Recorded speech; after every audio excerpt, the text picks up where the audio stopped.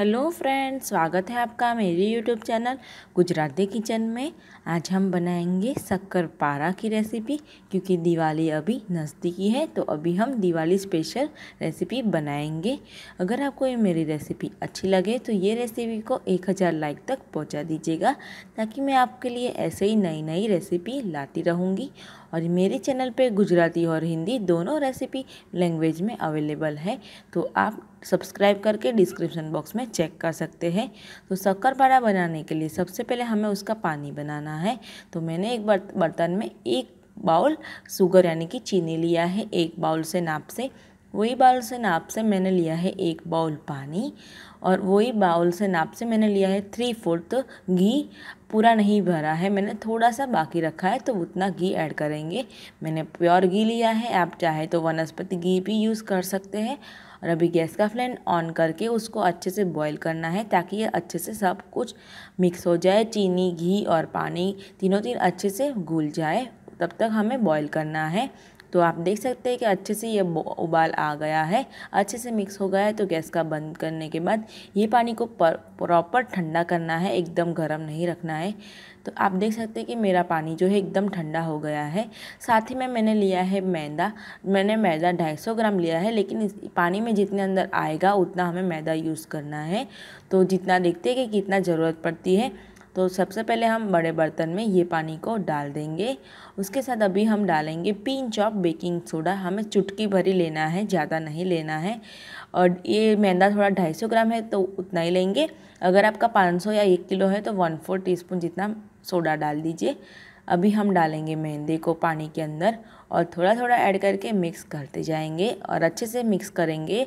तो इसी तरीके से थोड़ा थोड़ा आटा को गूंदते जाएँगे अच्छे से।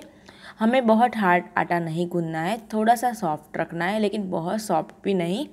तो आप देखेंगे कि हमारा जो आटा है, मैंने थोड़ा बाकी का है, वो भी डाला है। अभी अभी थोड़ा पानी है तो अभी लगेगा तो हम और भी डाल देंगे। तो इसी तरीके से आटे को गूंदते जाइए और थोड़ा थोड़ा मिक्स करते जाइए। तो अभी थोड़ा गीला है तो थोड़ा बाकी का बचा, जो आटा है, वो मैंने ऐड कर दिया है। अभी हमें आटे की ज़रूरत नहीं पड़ेगी। तो टोटल मैंने 250 ग्राम मैदा यूज़ किया है। आप देखेंगे कि अच्छे से आटा गूंद गया है। अगर आपका मै, थोड़ा अगर आपको थोड़ा आटा गीला लग रहा है तो आप थोड़ा मैदा ऐड करके अच्छे से आटे को गूंद लीजिए।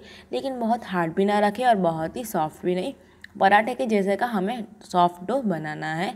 तो आप देखेंगे ये अच्छे से आटा मसल मसल के मैंने गूंद लिया है। इसी तरीके से आटा हमें होना चाहिए। तो अभी आटा लग के तैयार हो गया है। 250 ग्राम मैदा मैंने यूज़ किया है।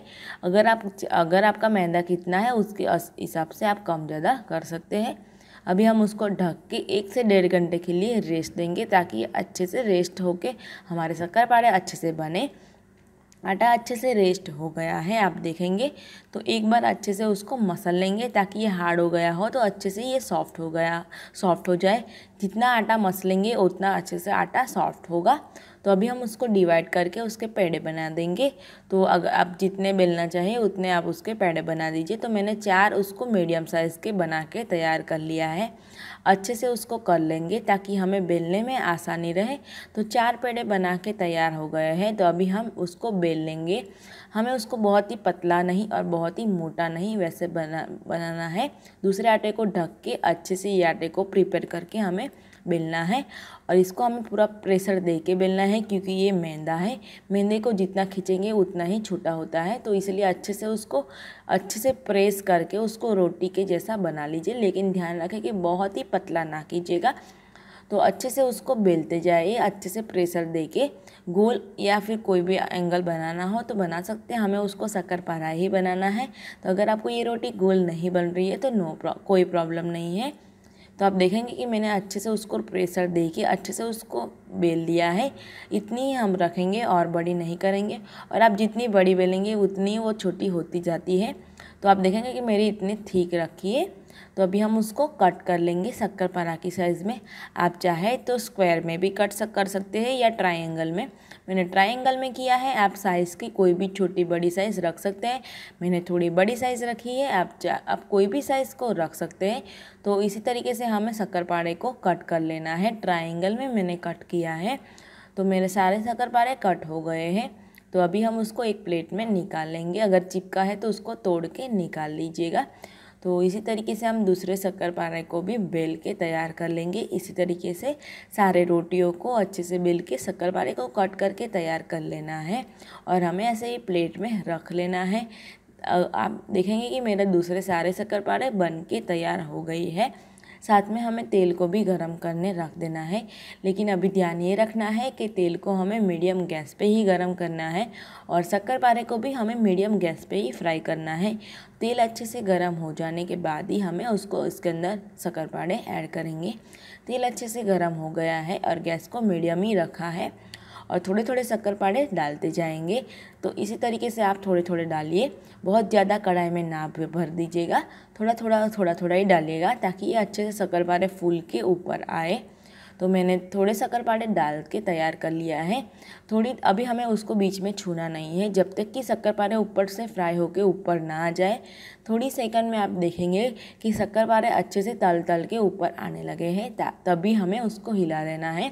ताकि ये अच्छे से सारी जगह से फ्राई हो जाए और अच्छे अच्छे बीच बीच में हिलाते रहना है ताकि ये अच्छे से सारी जगह से फ्राई हो जाए।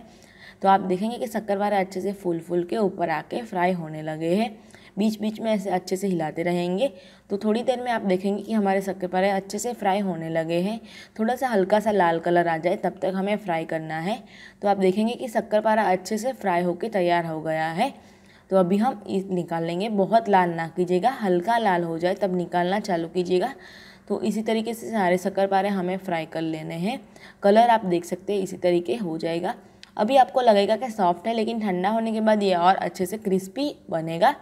तो अच्छे से उसको निकाल लेना है और सेम प्रोसेस से मैं सारे शक्करपारे को तल के तैयार कर लूँगी। तो थोड़ी देर में आप देखेंगे कि मेरे सारे शक्करपारे अच्छे से फ्राई हो गए हैं। अच्छे से फूल के तैयार हो गए हैं। ठंडे होने के बाद ये और अच्छे से क्रिस्पी हो जाएँगे। तो ठंडे होने के बाद उसको एक एयरटाइट डब्बे में भर दीजिए और उसको 15 से 20 दिन खा सकते हैं। तो दिवाली में ये रेसिपी को घर पे एक बार ज़रूर ट्राई कीजिएगा। अगर अच्छी लगी हो तो ये रेसिपी को 1000 लाइक तक पहुँचा दीजिएगा ताकि मैं ऐसी नई नई रेसिपी आप तक ला सकूँ। मिलती हूँ आपको एक ऐसी नई रेसिपी के साथ। तब तक के लिए